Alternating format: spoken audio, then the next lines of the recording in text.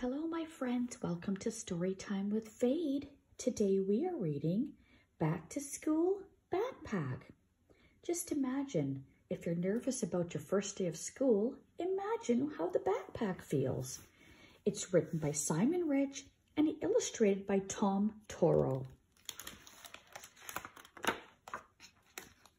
Back to School Backpack. Can I tell you a secret? The first day of school always makes me nervous. Being a backpack is great during the summer.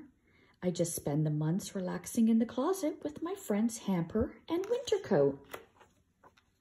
But every year, when summer ends, I hear those dreaded words, back to school, and the anxiety sets in. I know the first day of school can be scary for kids, Trust me when I say it's scarier for backpacks. First, you open my mouth and shove a bunch of big new books and binders down my throat. Then you spin me backwards so I can't even see wh where I'm going. The rest of the day is complete chaos. Sometimes you smash my face against a wall Sometimes you stuff me in a strange new locker. Sometimes you drag me up a staircase by my head, so every step smacks me in the butt. Side note, throughout all of this, I'm pretty much totally naked.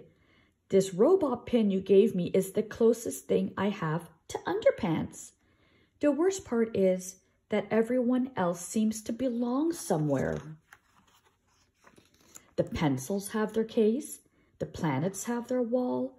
The toilets are weird, but at least they've got each other. It feels like I don't fit in anywhere. Like I'm just in everybody's way. But here's the thing. Sometimes when nothing's going right, you meet someone new. Who's sort of like you.